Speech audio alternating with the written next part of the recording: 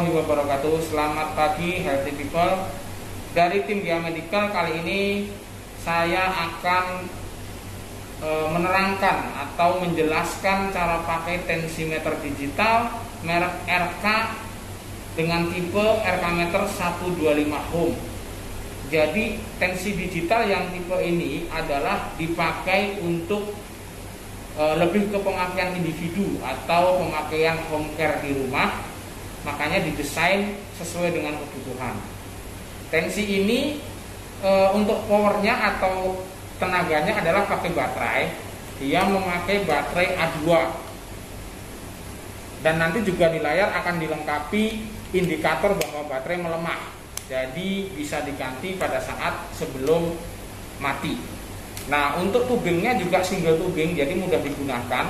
Hanya tinggal dicolokkan saja sampai dia berbunyi klik dan mengunci. Seperti ini. Nah nanti cara pakainya seperti apa? Yuk kita simak bersama-sama. Oke setelah posisi user penggunanya siap nah, kita pasangkan kafnya yang perlu diperhatikan adalah arah arterinya. Ini harus berada di bawah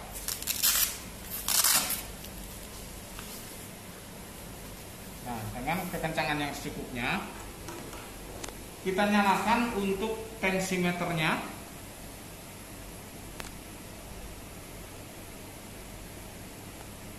Nah, ini menu-menu yang ada adalah yang ini untuk pengukuran secara normal atau seperti biasa pada umumnya tensimeter. Untuk yang menu ini untuk pengukuran rata-rata jadi nanti alat ini akan mengukur tensimeter dua kali untuk kemudian akan ditampilkan hasil rata-ratanya. Nah, menu yang ini adalah untuk memori. Jadi tensimeter ini dilengkapi dengan memori untuk menyimpan hasil tensi-tensi yang sudah terukur. Nah, ini untuk yang pengukuran biasa, memorinya seperti ini, nanti akan ada nomor Nah, begitu juga akan ada waktu beserta hari, tanggal, dan tahunnya. Nah, ini sama untuk memori yang tensi rata-rata.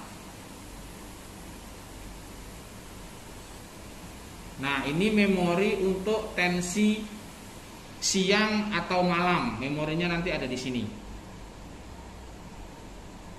Nah, ini untuk memori. Nah, ini untuk pengaturan. Pengaturan di sini adalah secara personal. Misalnya ini untuk eh, hari, tanggal dan tahun. Kemudian sama untuk hari, tanggal dan tahun.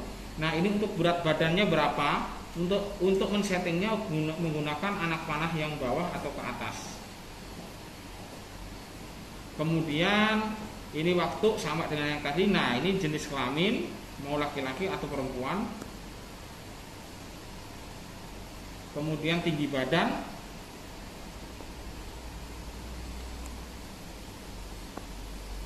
Nah ini untuk setting secara individualnya pemakaian pribadi individual. Nah ini adalah e, waktu yang disarankan untuk melakukan tensimeter untuk waktu pagi hari ataupun waktu di malam hari. Nah, sedangkan untuk yang ini adalah apabila pemakaian oleh e, orang lain, orang lain yang tidak tersetting e, data-data pribadinya seperti berat badan segala macam, nanti orang lain memakainya ini sehingga tidak e, tidak tercampur memori pemakaian individunya.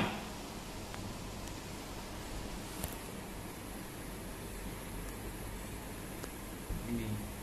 Nah, ini layar ini adalah e, ke depan untuk konektivitas ke PC tapi masih ke depan nanti. Oke, itu gambarannya. Kita akan coba untuk tensi yang seperti biasa, hanya satu kali tensi. Nah, dia sudah mulai memompa. Nah, ini keluar hasilnya. 114 merupakan tekanan atas atau tekanan sistol 67 merupakan tekanan diastol atau tekanan bawah. Nah untuk MAP ini adalah perhitungan yang biasanya dipakai oleh tenaga medis Untuk mendiagnosa suatu masalah terkait dengan tensimeter. Ini ada perhitungannya tersendiri Nah untuk yang warna biru ini adalah e, heart rate-nya Atau jumlah detak nadiknya per menit Oke, untuk menu selanjutnya untuk tensi rata-rata. Ini akan memakan waktu sedikit lebih lama daripada tensi yang biasa tadi. Karena dia dua kali pompa. Nah, ini posisi pasien atau jantungnya diistirahatkan kurang lebih satu menit atau satu kali waktu putaran sebelum nanti melakukan eh, pressing atau pemumpaan untuk yang pertama.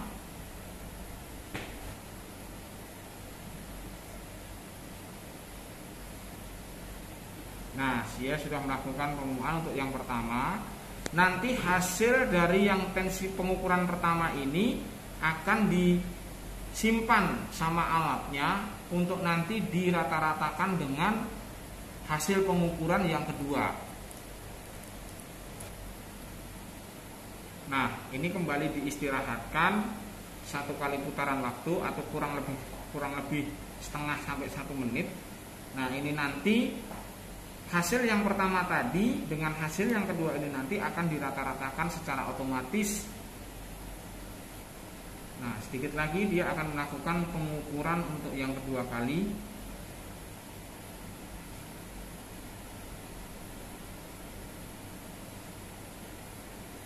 nah sudah mulai melakukan untuk e, pengukuran yang kedua kalinya Nah, ini merupakan hasil rata-rata dari dua pengukuran yang tadi. Oke, sekarang kita coba lihat di memorinya. Memori ini untuk tensi yang pertama tadi.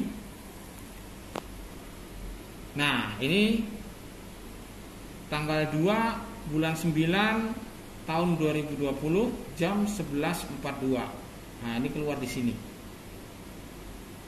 untuk yang pertama tadi. Nah, untuk melihat memorinya yang hasil rata-ratanya adalah di memori yang rata-rata. Nah, ini bulan 2 eh, sorry, hari tanggal 2 bulan 9 2020 jam 11.43 ini hasilnya. Ini untuk hasil-hasil yang lalunya untuk yang di bawah ini. Seperti itu. Demikian cara penggunaan eh, tensimeter digital RK, RK meter 125 ohm. Terima kasih dan semoga sehat selalu. Assalamualaikum warahmatullahi wabarakatuh.